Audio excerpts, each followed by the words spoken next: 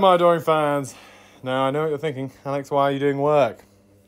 Well, actually, you're probably not thinking that because it's a Monday. But I was, in fact, meant to be off today. that was not the case. I actually spent about four hours doing work today. In fact, I have just been doing a bit more this evening. Um, but Maddie made me a tasty breakfast at 2 p.m. and then uh, she made some Lego. Well, not Lego, I think it's like discount Thai Lego. Uh, but they're very cute little Pokemon that we made.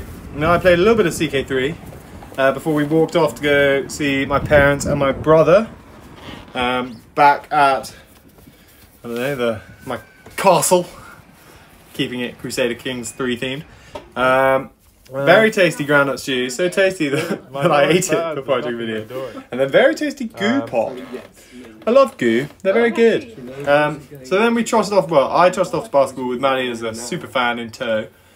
Um, unfortunately, we lost. didn't bring a jumper, Um, even when I told her to Yeah. I did okay. I was a bit rusty. I haven't really properly played for a few weeks.